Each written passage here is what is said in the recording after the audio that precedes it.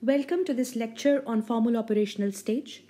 This stage marks a dramatic shift in the way adolescents are able to process information. Let us watch some video clips and understand this shift from concrete operational to formal operational stage. This video marks a shift from the concrete operational stage to the formal operational stage.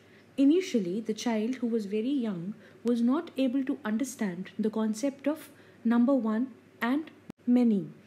The elder sister uses the concrete objects such as the sun, the moon, and the stars. The child was not able to understand even then. The elder sister then used squirrels and butterflies moving around the boy to make him understand the concept of number one and many. Once mastered, the boy applies this concept to birds flying in the sky. समझ गया दीदी एक उंगली अनेक उंगलियां हाँ दीदी दीदी वो देखो अनेक चिड़िया Once the boy understood the concept of number one and many, the elder sister tells a story through which an abstract concept is taught to the child. We can watch this short clip from the video again to understand how the elder sister is able to shift the boy's thinking process from the concrete concept of number to abstract concept of unity. तो देखा फिर तुमने अनेक सिर्फ एक हो जाते हैं तो कैसा मजा आता है The boy in this third video clip shows the accomplishment of formal operational stage where the boy is able to understand the meaning of one not only as a number but also as signifying strength, togetherness, and courage. These are the abstract concepts which children learn only once they reach a certain stage. So, this is the movement from concrete operational to formal operational stage.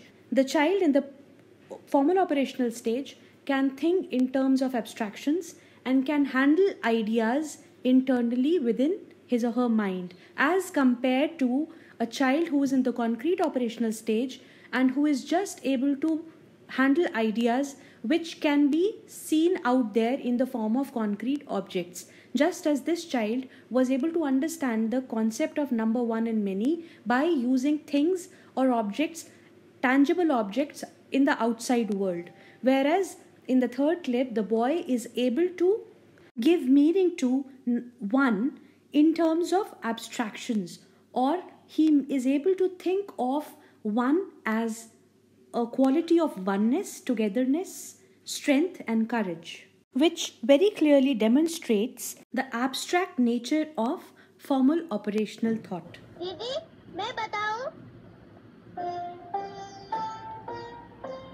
हो गए एक बन गई ताकत बन गई हिम्मत Having watched the video clips, we now understand that formal operational stage involves mm, thinking in abstractions rather than thinking through tangible or concrete objects.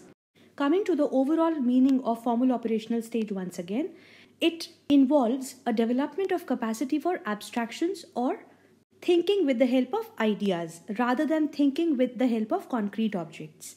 So, children at this stage or adolescents do not need tangible objects to perform operations, just as a concrete operational child needs tangible objects to learn concepts such as addition and subtraction. A child in the formal operational stage is able to perform those operations mentally. Coming to the major characteristics of formal operational thought, uh, the first important characteristic is hypothetico deductive reasoning. Hypothetico deductive reasoning is the, a kind of thinking which is performed when someone faced with a problem is able to think of all possible factors that could affect the outcome, even those not immediately suggested by the concrete features of the situation. This is followed by testing each and every possible factor to see if it works in the real situation or not. We all have done the hypothetical deductive method in class 11 when we were doing methods in psychology. Hypothetical deductive reasoning is strictly followed in the experimental method which we use in psychology, wherein we try to see the effect of independent variable on dependent variable while controlling all the other variables which might affect the dependent variables. So, this ability to think about all the potential variables which might affect the R dependent variable and to be able to control them and to see the effect of just one independent variable, one or two independent variables on our dependent variable involves hypothetical deductive reasoning, which is possible only once the child attains the formal operational stage of cognitive development. Another important characteristic of formal operational stage is that it involves propositional thought, which means that adolescents can evaluate the logic of statements by reflecting on the statements themselves. They do not need to consider them against real world circumstances. Consider, for example, premise 1, which says that all girls are tall, premise 2, which says that X is tall, and the conclusion X is a girl. Now, children at the formal operational stage can examine these premises on the logic inherent in them or they can apply logic to these statements. They do not need to check these statements in the outside world whether they are correct or not. They can judge these statements within their minds and they can apply logic to say whether conclusion X is a girl is true or not. If the same problem is given to children in the concrete operational stage, they have tremendous difficulty. In fact, it is most probably impossible for them to arrive to say whether conclusion X is a girl is true or not. Formal operational egocentrism. This refers to a form of egocentrism present during formal operational stage which involves an inability to, to distinguish the abstract perspectives of self and other. We learned in um, sensory motor development that child is e- egocentric, which means that the child is not able to separate himself or herself and the surroundings.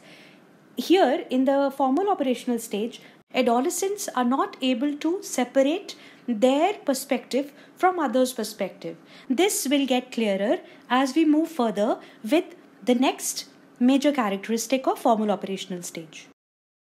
We know that adolescents experience formal operational egocentrism, which expresses itself in another major characteristic of this stage, which is the imaginary audience or the belief in adolescents that they are the focus of everyone else's attention and concern.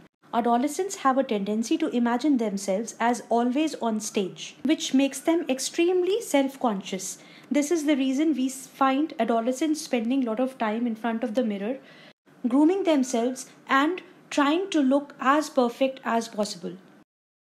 Personal fable. This refers to adolescents' belief that they are special and unique.